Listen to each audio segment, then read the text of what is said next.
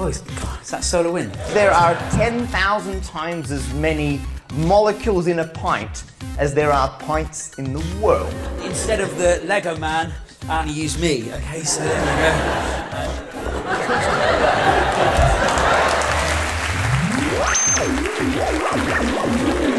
Well, somewhere between the biggest number ever and six.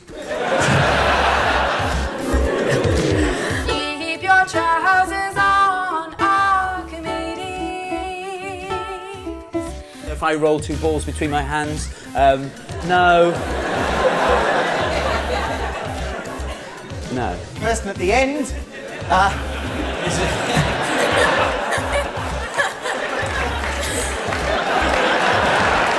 if anyone's a huge fan of parabolas, can you put two hands up for me? One